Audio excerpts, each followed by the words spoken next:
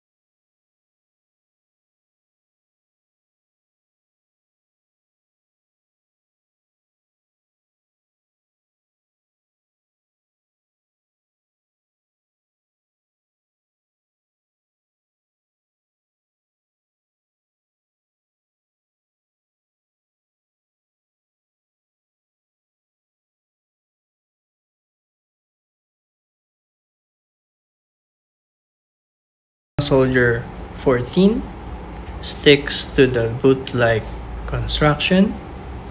As you can see on the upper, it has a woven mesh material. On the shroud, this is neoprene with the Lebron secondary logo. Um, it also has Lebron's lion logo here on the lace locks and Lebron's uh, main logo, which is the crown on the tongue. The color of the shoe is also made out of neoprene, also on the insides, also made out of neoprene. Um, this shoe is well ventilated as you can see on the side panel, both outer and inner panel, and also on the tongue.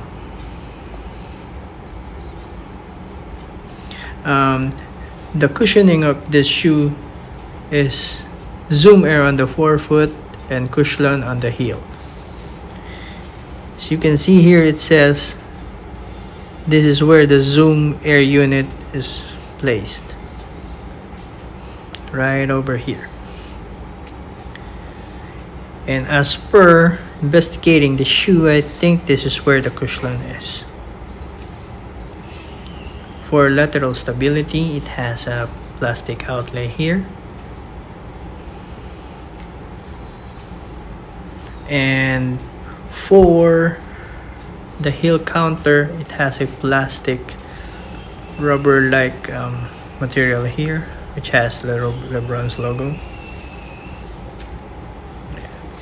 The Lebron Soldier 14 Sun traction pattern is very similar to the Lebron 17s.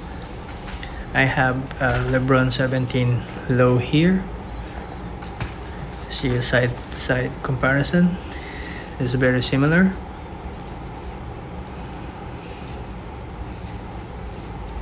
Um, the Lebron 17s has uh, Nike React. This is the low but for the Lebron 17 it has the zoom pods. Uh, so this shoe fits true to size. Um, if you're a wide footer I, I suggest you go full size up. Um, what I like about this shoe is that it's super light. Um, the materials on this is amazing. Doesn't feel cheap um, I didn't feel any discomfort wearing this multiple times. The cushioning of this system is superb given its zoom air unit on the forefoot and the cushion on the back heel. Um, the lockdown on this shoe is amazing because of the lacing system that they have introduced on this model. Um, the materials on the inside doesn't feel hot and it's very well ventilated on the tongue and on the sides.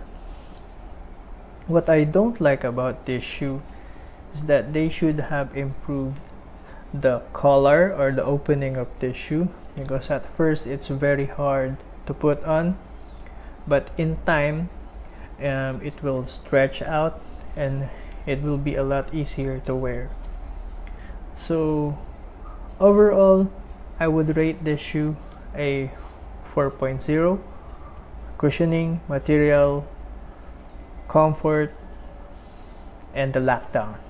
Uh, if you're interested in copying this shoe or customizing this shoe I'll leave the links below. And if you're new to our channel follow us on IG like our page on Facebook subscribe to our YouTube channel and this is Howie Sole'D Freaks out and keep moving forward